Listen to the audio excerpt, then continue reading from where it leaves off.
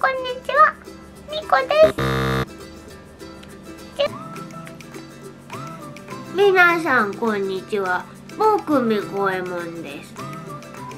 はい皆さんこんにちは。みこです。えっと今日は誕生日を迎えたので仕事帰りにちょっとだけショッピングをしてきました。イエーイ。いつもイベントとか動画撮ったりとか海外行ったりとかすごいバタバタしてて誕生日をねゆっくり祝えることがないので今日はちょっとだけなんですけど買い物をしてきました。ということで購入品を紹介していきたいと思います。イエーイ。では行きます。1個目。じゃん。ドドラえもんバスボール。秘密道具バージョンまあ入浴剤ですね。入浴剤を溶かすと中から秘密道具がねどこでもドアとかタケコプターとか1個だけね出てくるんやって。これが欲しかったので買ってみました。今日の夜はこれで決まりですね。なんかもう匂いが溢れ出しすぎてめっちゃ匂う。袋に入ってるけど。晴れた日の空の香り。まあ分からんでもないかなぐらい。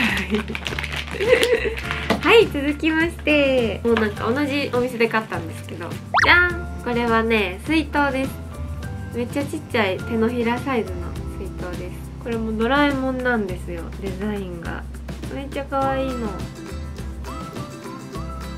んな感じの水筒を買いました。これが2つ目で3つ目がこちらけよう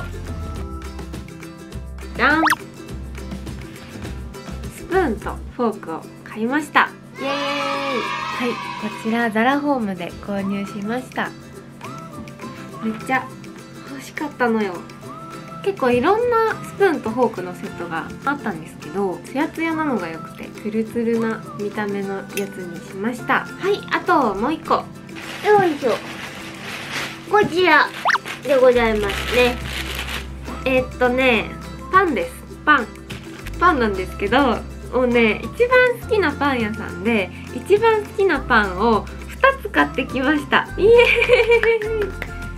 普段1個しか買わないんだけど今日は2つ買いました。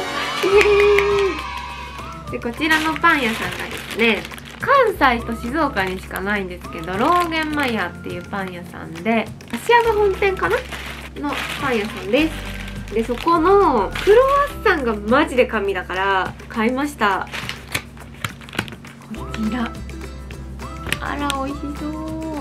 これをぜひねあの関西にいる特にあの兵庫県にたくさんあるので店舗があのぜひ兵庫県の皆さんはこれをね買って持って帰って家にオーブンで焼き直して熱々にして食べてみてください。あのね外は砂糖でカリカリでめっちゃ甘いんですけど中はバターのね天国なのか地獄なのか分からんけどもバターの皮で溺れそうみたいな感じでもうめちゃくちゃ美味しいのでよかったら是非買ってみてください。もう超おすすめです。マジで。マジで。はいそんな感じです。よいしょ。でラスト。ラスト1個。えっとねお母さんが買ってくれたっていうかね買ってくれたんじゃなくて出資してくれたのがあのネイルをねずっとしたくて最近ずっとできてなかったんですけどネイルをしました。したんですけどねすごい紹介したいんだけどねもういつも一緒なんよね。いつも同じデザインだからちょっと恥ずかしいんですけど紹介したいと思います。こちら。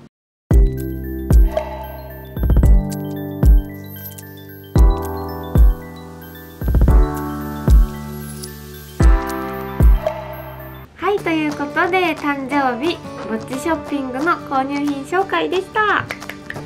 いやーなんかほんまにこんなにまったりと誕生日を過ごすのは何年ぶりでしょうか。そう生誕祭がねできなくなっちゃったのはすごい残念なんですけどでもコロナがちょっと今ねやばいみたいなので皆さんもお気をつけて免疫力を上げて過ごしてください。はいということで今日の動画は終わりたい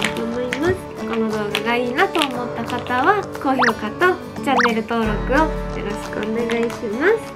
でなんやあそうインスタグラムとツイッターのフォローもよかったらよろしくお願いします。以上みこちゃんベルでした。ありがとう。バイバーイ。シュ Happy birthday to you. Happy birthday to you. Happy birthday dear. みーこちゃん。ハッピーバースデートゥー